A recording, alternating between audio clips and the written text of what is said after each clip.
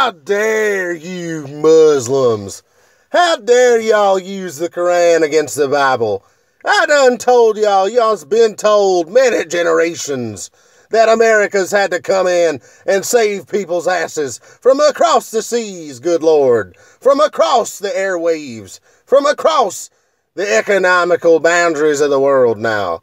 How dare you sit there, Muslims, now making a stir, trying to take away attention from the good Lord? We've got mega churches we got to build over here. We got palaces to upkeep.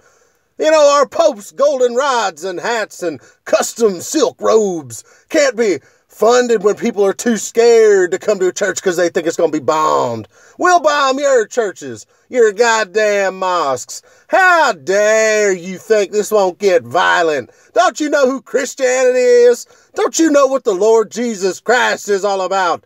Don't you know what it is putting Bible verses in the back of your truck? You's come fight us in America. You'll find out real quick, Muslims. You'll find out real quick how America gets down.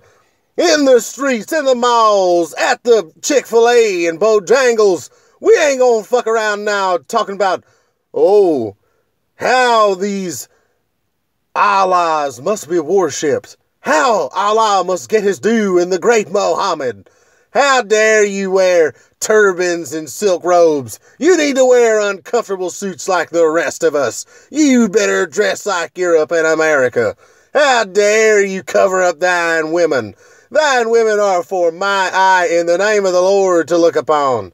I'm telling you, I quote the Bible all day.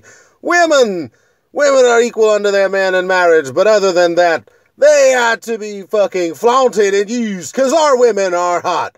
White women are the shit. And you're jealous because you gotta cover up y'all's girls head to toe. Not to be looking at one another, but not to be seeing their ugly ass, unclean demeanor.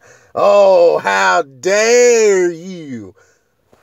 Now this devolved into somewhat of a name calling contest. A shit talking contest. How dare you behead people in the streets? We'll send armies into the desert and wreck everything and blow everybody up. And we'll be wearing yours own shit and talking y'all's own language. How about that? ISIS was us the whole time in the name of the good Lord. It was divined from the good book. How dare you not think that we'd come up with an epic scheme, that we wouldn't invade the Middle East and do terror and spread chaos in the streets and misuse Islam and make it look bad as hell and tell all our people that you're desert savages. Oh, how dare you not believe that America, oh, I mean, yeah, Christianity wouldn't be the right religion. Yeah, let's talk that way. Christianity is definitely right. The Bible's older than the Quran. You're just making up stuff based on our stories. How dare you steal away the creative rights of the good Lord? How dare you? I'll tell you something right now, Muslims. I done seen you speaking your own language in the presence of the good American folk, stirring them up, stirring them up. Oh, We'll just edit that out. Okay.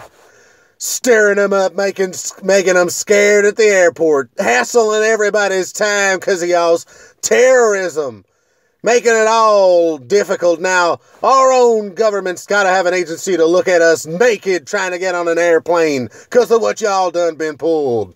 If you would have just had a fair fight, we could have duked it out in the American streets as good Americans do. But you chose the route of terror. How dare you take away the Lord's tool for turning over his flock? How dare you try to make people afraid and have to submit to Islam? How dare you directly copy Christianity from the ancient days in the name of the Lord? Thou shalt have no other gods but me. It doesn't matter that we're talking about the same God using different names. Now, you's gonna come in here and try to copy off our shit. That's what it's about. That's how it gets personal. I tell you what, you's best be thinking about one thing out there, Muslims. There might be 1.7 billion of you that don't give a shit about us because you got your own problems. But Christianity and America are willing to make that 1% a hell of a big deal. How dare you think we won't?